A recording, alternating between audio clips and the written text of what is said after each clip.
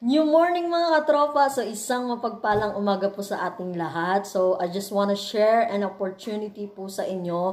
Pinapakilala ko po sa inyo ang New Life International. So uh, ano nga ba si New Life? Sino nga ba siya? Ano nga ba na, na, na itutulong ni New Life sa buhay ng mga tao? So um, New Life po, ibig sabihin po is bagong buhay, bag, bagong pag-asa. So, lalong-lalo na ngayon, uh, sa nangyayari sa ating bansa, hindi lang sa bansa, sa iba't ibang lugar, uh, international, so local man, international. So, meron pong pandemic, yung COVID-19, yung iba po walang trabaho. So, uh, ito po, pinapakilala ko po sa inyo para po makatulong po kahit papaano magkaroon po kayo ng extra income. So, ayun po. And, uh, meron pong dalawang product si New Life ito po, meron po siyang perfume. So, ang perfume po ni New Life is uh, oil-based po. Ibig sabihin, tumatagal po, may uh, dekalidad po yung produkto at uh, uh, nagtatagal po yung bango niya, umaabot po ng uh, 24 to 48 hours. Ayan. So, yung, uh, yung New Life perfume po, meron pong uh, 10 scent, meron pong limang pambabae, tsaka limang pang lalaki. So, yung, uh, yung scent po is ito po siya. So, pakita ko lang po sa inyo. Ito po yung mga tester. Ayan. Ayan po, ito po yung lima. So, meron po tayong kiss, meron pong blossom, meron pong sugar, meron pong queen, tsaka meron pong crush. So, yung, ano, yung uh, ganito po kalaki yung binibenta. Ito pong tester kasi pang ano lang po, pang try lang po siya para kung anong gusto nyo po na scent, ganun po. So, ito po yung uh, ito po yung uh, sample po or ito yung actual product. Ayan, 60 ml. Ayan, makikita po natin. And then, uh, unboxing lang po natin. Tingnan po natin sa loob kung ano yung itsura ng pabango. Ayan. So, ganito po siya. Ayan. So, yan, 60 ml. Ayan po, 60 ml. Yan. So, ganito po siya. So,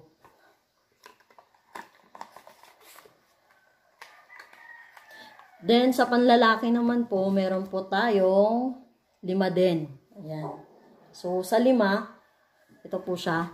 So, merong Gravity, Inspire, Radiant, King, tsaka Rain.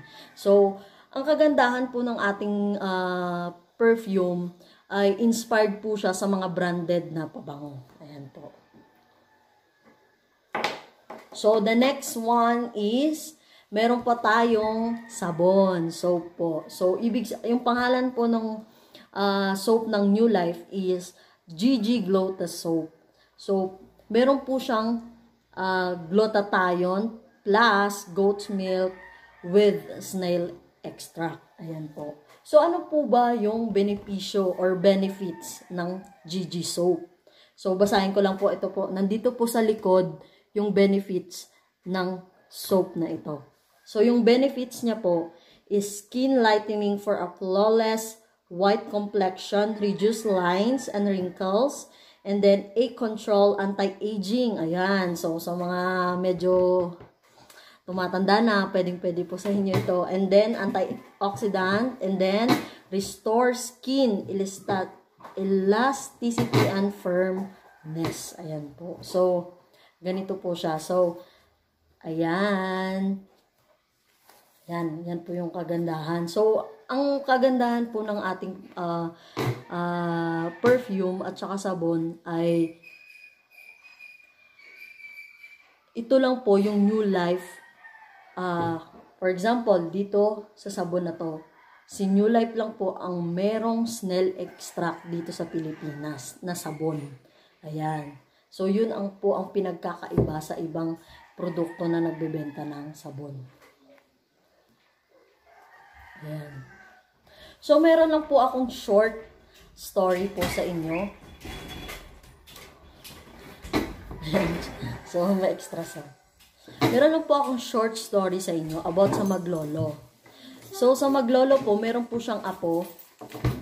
And then, uh, sabi nung lolo sa kanya, Apo, apo, halika dito. Punta ka dito. Sabi nung gano'n. Pero itong si lolo po, meron, meron po siyang alagang mga sisiyo. So, yung isang sisiw po ay hawak-hawak ng lolo niya. Tapos, sabi niya, dito, sabi niya sa kanyang apo, ah, apo, apo, halika dito, habang ginaganon niya yung kamay niya. Hawak-hawak niya yung sisiw, tapos ginanyan niya. Tapos, ang sabi niya sa kanyang apo, Apo, gusto kong hulaan kung ano, kung ano ba yung sisiw na meron dito, kung patay ba or buhay. So, ang sabi ng kanyang apo, Lolo, kapag sinabi ko na buhay, ihihigpitan mo ang pagkakakapit mo sa sisiw. Pag sinabi ko naman po na patay, ibig sabihin, luluwagan mo ang pagkakakapit mo doon sa sisiw. So, ano po ba yung lesson dito? So, wala lang, na-share ko lang. So, hindi. Ibig sabihin, um, yung lesson po sa story na yon is, andito po ako, isa po akong distributor ng New Life International. So, nasa sa inyo po kung papatahin nyo or bubuhayin nyo yung opportunity na isinishare ko po sa inyo ngayon. So, ayan po.